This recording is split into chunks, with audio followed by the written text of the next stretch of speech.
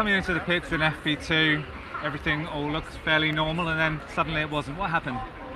Ah, it's all part of the practice. Uh, check how the how strong the engine is uh, in these hot conditions.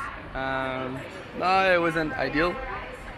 Got slightly hot, and uh, when we, we connected the, the fuel breather, um, yeah, caught fire, but we could switch it off and um, and restart again. So yeah, just a bit of a barbecue feeling, but it was uh, yeah nothing nothing too bad in the end. Is it something the engineers are going to have to look at for a, No, a race just distance? a, just a procedure and just in these conditions because it's so warm, but nothing uh, worrying or concerning for, for the rest of the weekend.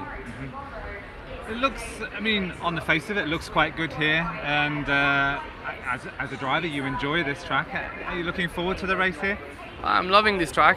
Um, it's really a really special place, very technical, a lot of rhythm. Um, on the performance side, I, no, I don't think we we're really happy. I mean, we're finishing quite far away in FP2, and uh, and uh, yeah, at the moment, don't have the pace for, for, for the top 10. So um, yeah, we need to find something for tomorrow.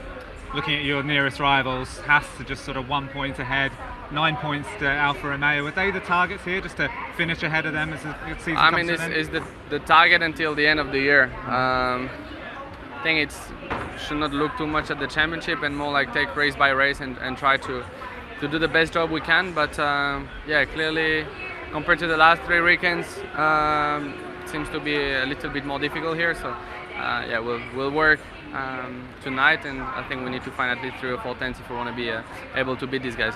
And that upgrade on the car, that front wing, are you able to feel the difference there? Ah, it's minor changes, so so far we need to spend a bit more time to analyze it.